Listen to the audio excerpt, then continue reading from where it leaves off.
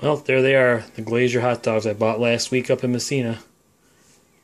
Grilled them up on the George Foreman grill, and I will let you know how they are. They smell awesome. I'm hungry. So, those Glazier hot dogs, awesome. Very awesome. I will be buying them frequently when I'm up in Massena again. They're definitely worth the money. They're they're awesome. That's all I can say.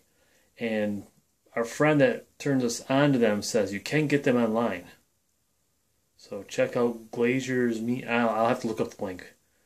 But uh, they were awesome. I'll put the link down below. Definitely awesome. Hmm, definitely worth it.